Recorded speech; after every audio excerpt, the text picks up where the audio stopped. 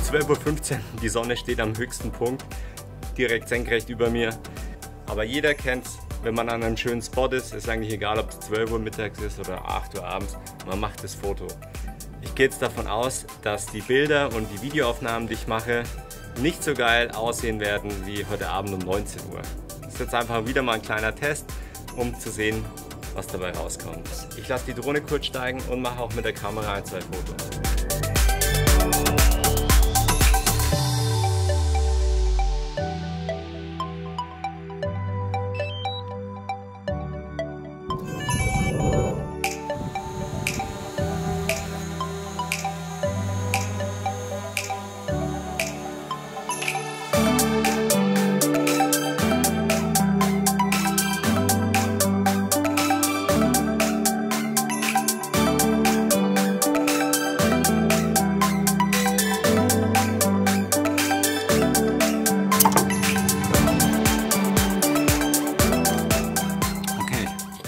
Halb eins ist es jetzt, die Bilder sind im Kasten.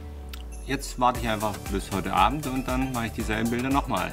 Bin gespannt, äh, wie der Unterschied aussieht.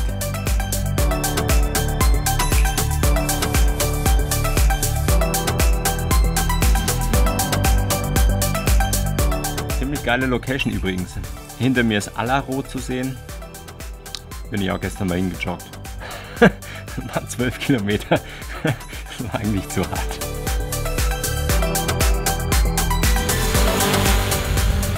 Ja, vorhin um 12 stand die Sonne da, jetzt steht sie ungefähr da. Das Licht kommt viel, viel weicher auf der Erde an. Der Blick ist äh, klarer, man kann viel weiter in die Ferne gucken. Irgendwie eine viel, viel schönere Stimmung. Ich bin jetzt tatsächlich gespannt, ob äh, es sich gelohnt hat, so lange zu warten, um einfach nochmal genau dieselben Fotos zu machen.